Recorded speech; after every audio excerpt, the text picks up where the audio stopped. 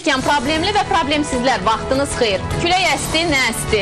Dam, ağac bilmədən uçurtduğunu uçurtdu, qırdığını qırdı, apardığını apardı sözümüzün canı var. Hələliksə günün xəbərlərinə yaxın olmaq üçün gəlin əvvəlcə anonslara nəzər salaq.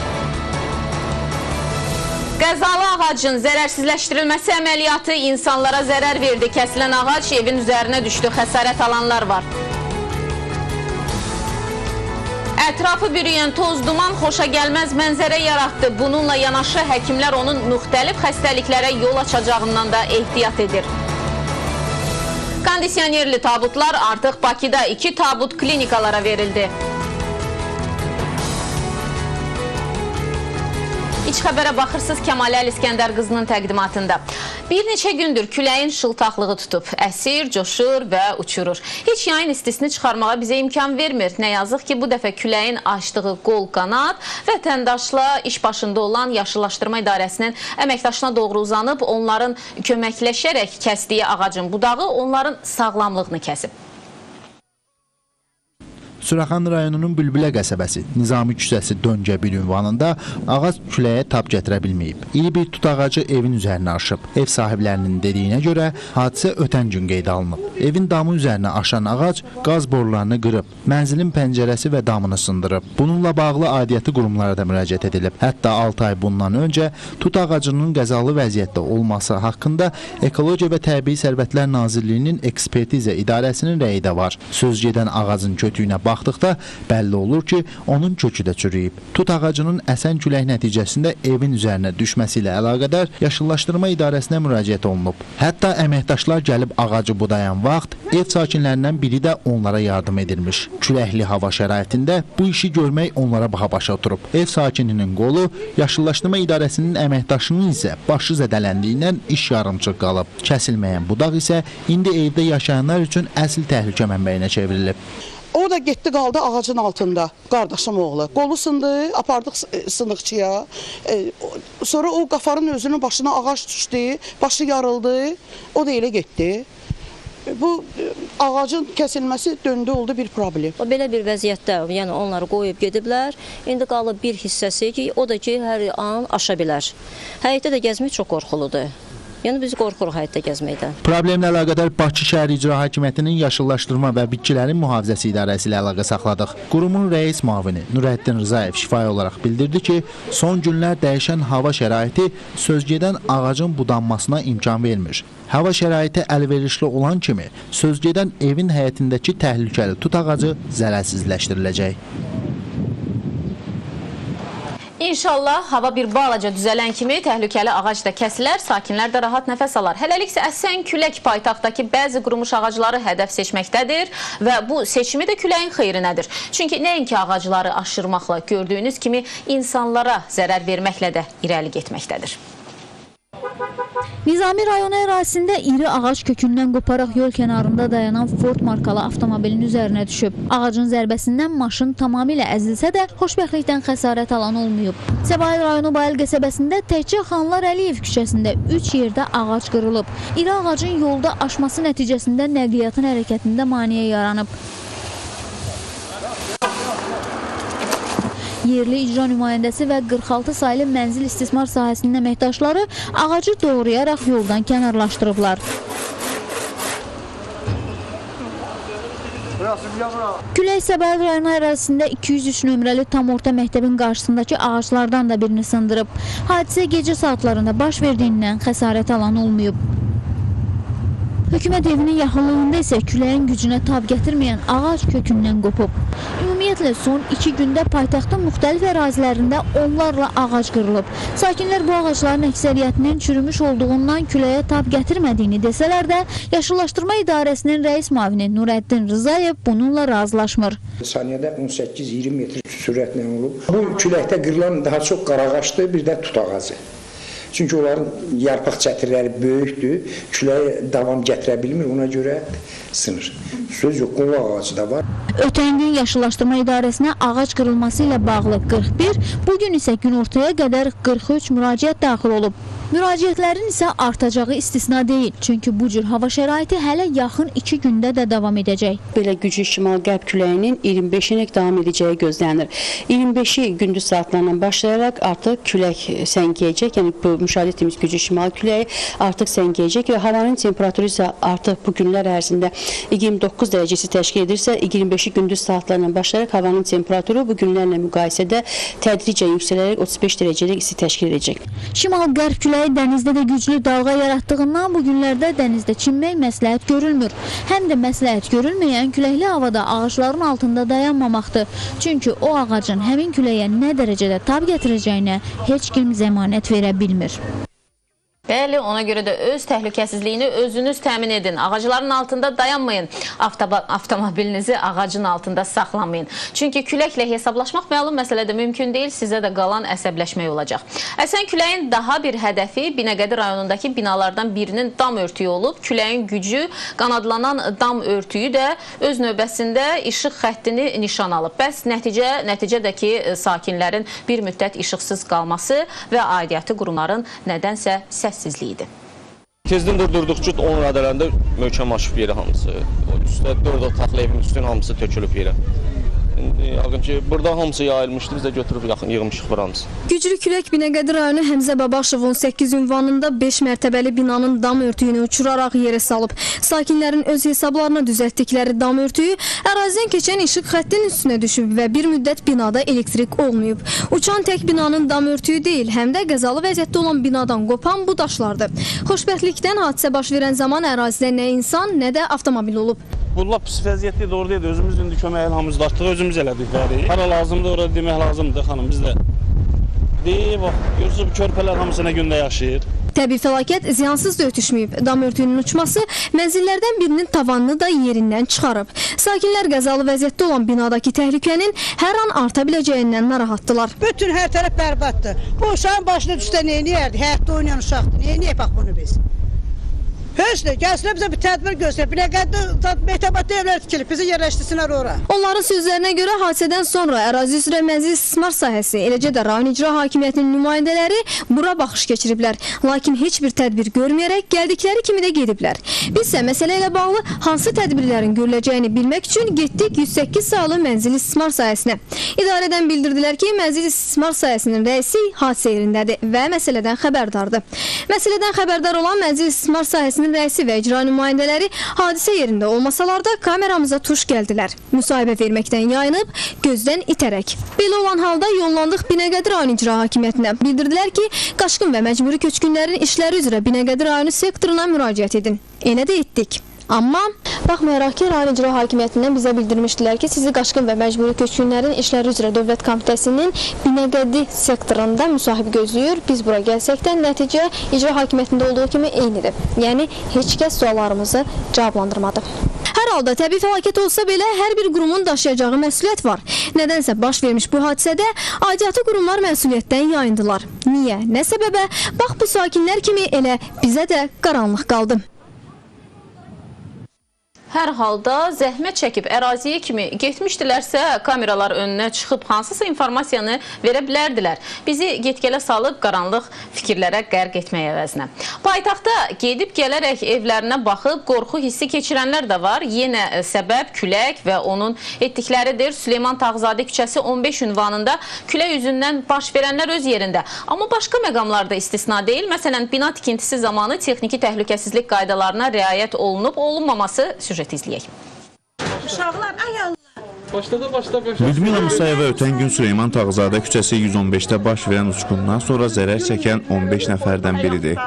Güclü külək nəticəsində həmin küçədə tikilməkdə olan hündürmərtəbəli binadan tikinti materiallarının düşməsi həyət evlərinə ciddi ziyan vurub.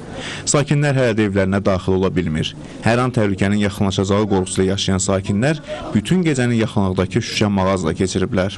O şüşəli yerdə qonşu verib yerini bizə, orada biz məskunlaşıb biz oturmuşuq səhərəcən, gözümüzə yuxu getməyib. Küçələrdə qalmışıq. Girmişəm evə, elə bil bir gün qabaqki evim mənə dəhşətə gəldi. Çox qorxurdum.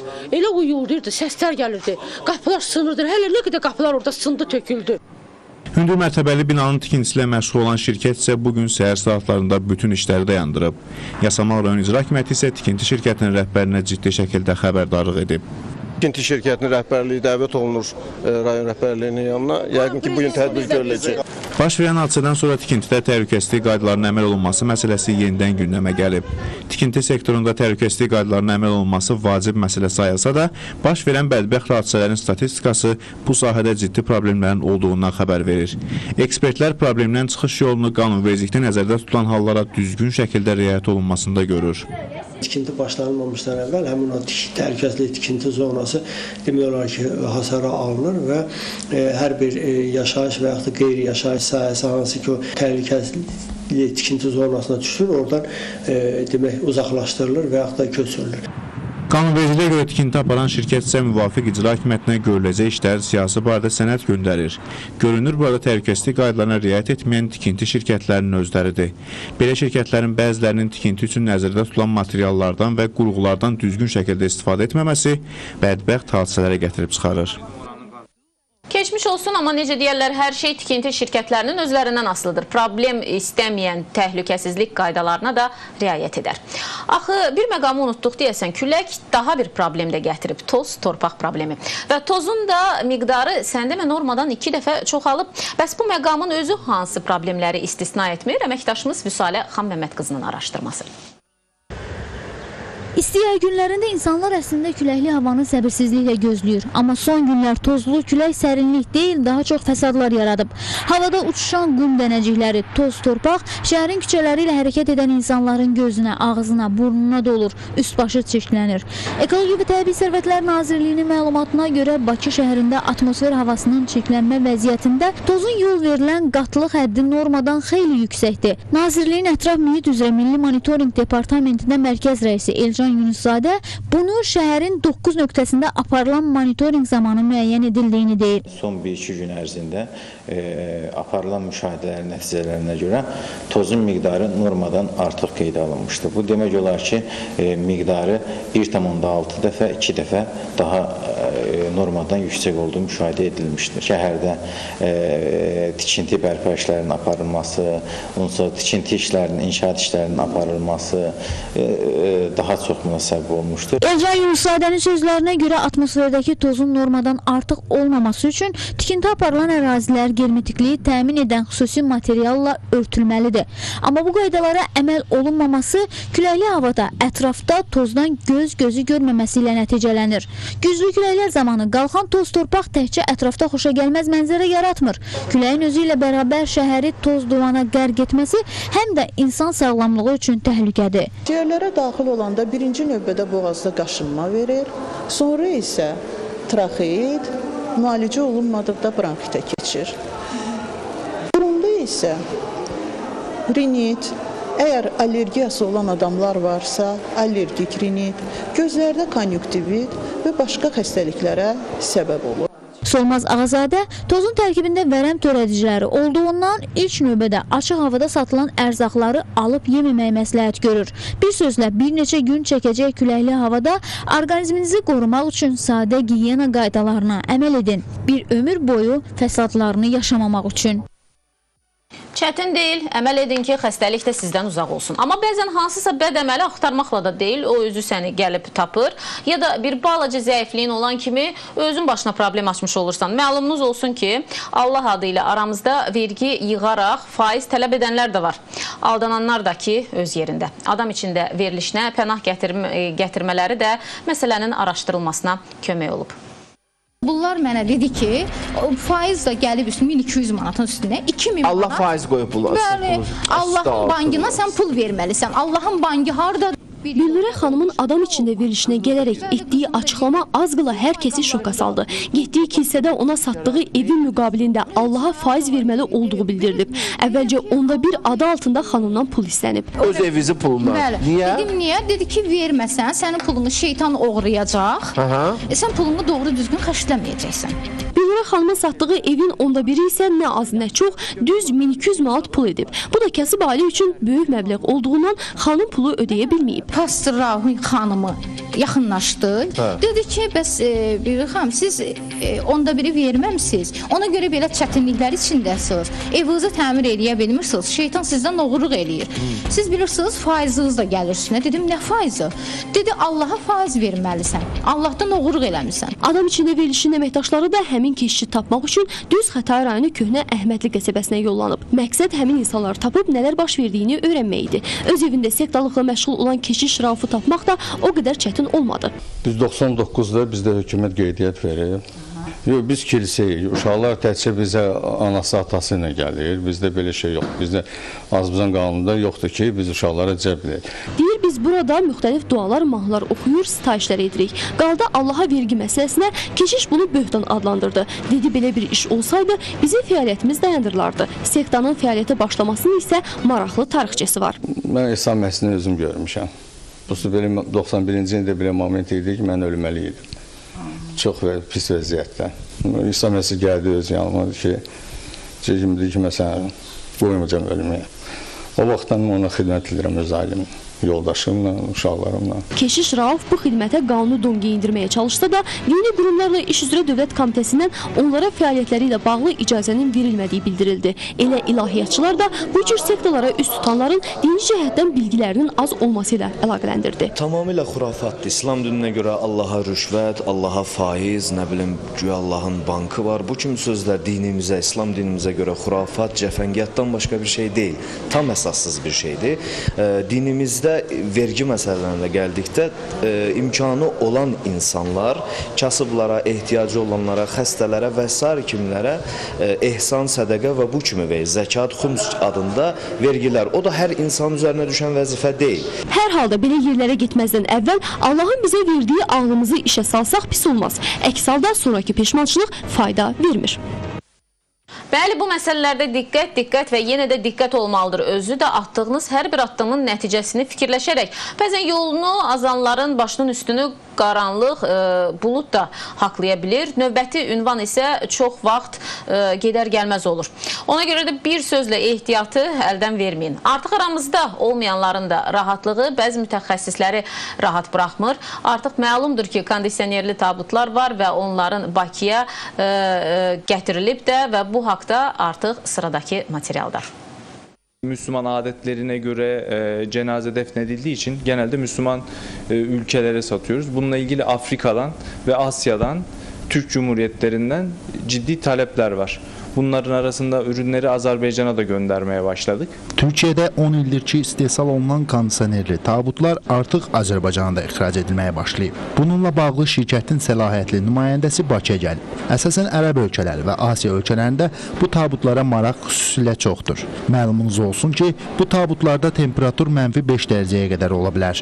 İnsan cəsədi bu tabutlarda maksimum bir həftə qalsa belə heç bir problem yaranmır. Elektriklə işləyən tabutun üst hissəsində xüsusi nəzarət pəncərəsi yerləşdirilib. Həmin pəncərədən meyidə baxmaq mümkündür. Üzərinə quraşdırılan yaddaş kartı vasitəsilə azan və dini musiqilər dinləmək olur.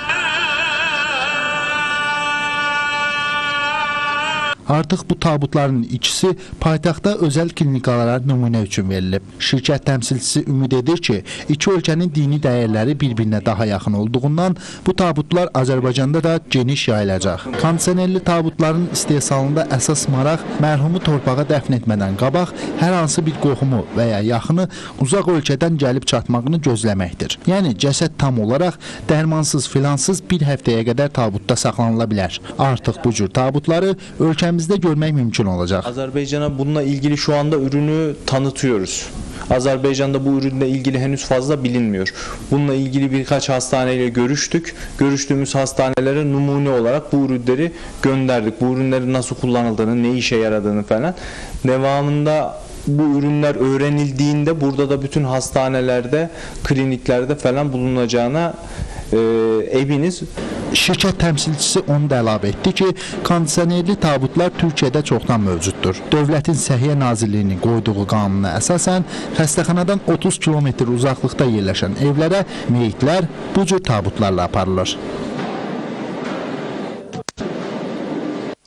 Hələ ki paytaxtda iki klinikaya bu yenilikdən pay düşüb. Bugün havanın küləkli olmasından asılı olmayaraq bulvara pənah gətirənlər peşman olmayıb.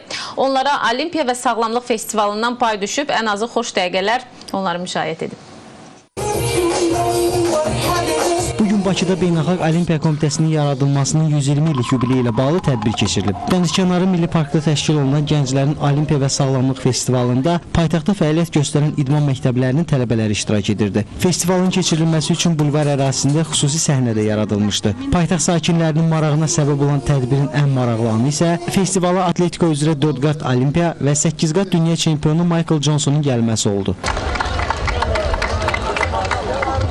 Səhnədə xüsusi xoreografiya və fleşmobların təşkili ilə yanaşı bulvar ərazisində yeniyetmə idmançıların məşq hərəkətləri də tədbirin marağını artırırdı. İdmançı gənclərə stimul vermək üçün onların arasına keçən məşhur atlet yerli gənclərlə səmimi söhbətlər edib onlarla şəkil çəkdirdi. Bakıya ilk dəfə gəldiyini deyən əfsanəvi idmançı bu festivalın önəmindən də danışdı.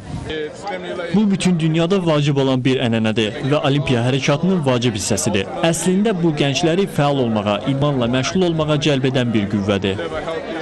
Tədbir Beynəlxalq Olimpiya Komitəsinin yubileyi ilə bağlı keçirilsə də, bu gələn il Bakıda təşkil olunacaq 1-ci Avropa oyunlarına hazırlıq proqramının tərkib hissəsini təşkil edirdi. Belə bugünlük iş xəbərdə sizə təqdim edəcəklərimiz bu qədər. İmkan olsa görüşərik.